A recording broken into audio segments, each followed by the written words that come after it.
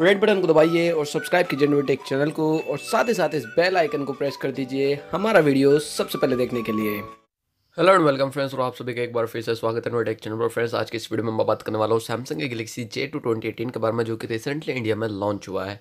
So friends यहाँ पर सबसे पहले बात करते हैं डिज़ाइन के बारे में। तो डिज़ाइन काफ़ी ज़्यादा पुराना है, जो कि सिक्सटीन एशो नाइन की डिस्प्ले आपको फ्रंट में देखने को मिल जाएगी, जहाँ पर जो है क्यू एच डी डिस्प्ले यानी कि फोर पी डिस्प्ले देखने को मिल जाएगी, जो कि सुपर एमोलेंट है। सो टेक्नोलॉजी काफ़ी अच्छी है। और फ्रेंड्स बाकी जो डिज़ाइन है, वो प्लास्टिक का है। आपको जो है एक बात और बता देता हूँ कि यहाँ पर जो आपको पाँच इंच की फ्रंट में आपको डिस्प्ले देखने को मिल जाएगी। फ्रेंड्स, यहाँ पर हम बात करते हैं इसके प्रोसेसर की। तो यहाँ पर जो आपको क्वालकॉम स्नैपड्रैगन 425 देखने को मिल जाएगा, जो कि वन पॉइंट फोर तक की मैक्सिमम आपको स्पीड दे देगा। यहाँ पर हम बात करते हैं इंटरनल स्टोरेज और रैम की तो यहाँ पर आपको जो है दो जीबी की रैम और सोलह जीबी की इंटरनल स्टोरेज देखने को मिल जाएगी, जो कि आउट ऑफ़ द बॉक्स आपको एंड्रॉइड नोकट के साथ में ये डिवाइस देखने को मिल जाएगा।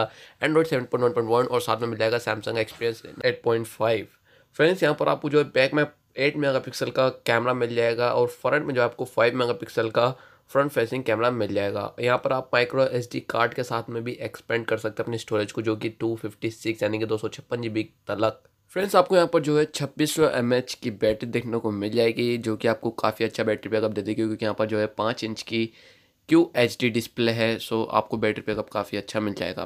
फ्रेंड्स यहाँ पर हम बात करते हैं इसकी प्राइस रेंज की तो ये आपको जो है आठ हज़ार सात सौ कुछ रुपए का देखने को मिल जाएगा मार्केट में, जो कि काफ़ी ज़्यादा ओवर प्राइस रेंज है। यहाँ पर इसके बदले अगर आप लेते हैं शाओमी का रेडमी नोट फाइव तो वहाँ पर जो आपको Qualcomm Snapdragon six twenty five मिल जाएगा।